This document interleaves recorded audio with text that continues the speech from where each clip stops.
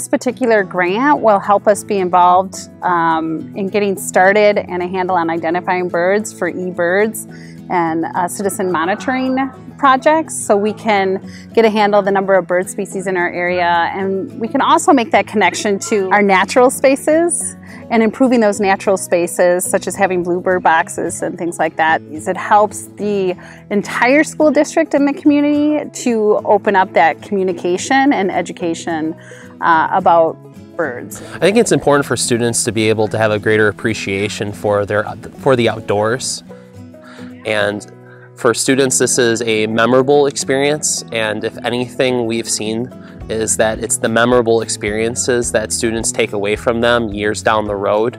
So we hope that this just builds another memorable life experience for them as they continue to grow and develop as students and citizens.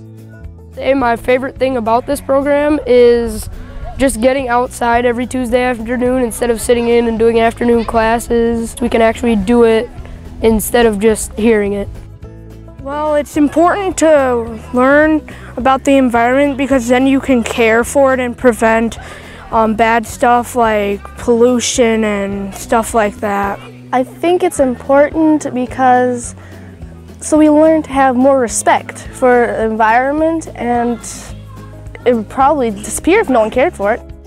I think it's important for kids to learn about um, birds and migratory patterns to kind of get a handle on what's happening to our habitats and ecosystems because we're losing a lot of those natural spaces. So to help improve those natural spaces and to get the bird species here, will give them a greater uh, connection to what's happening you know, beyond the, the district.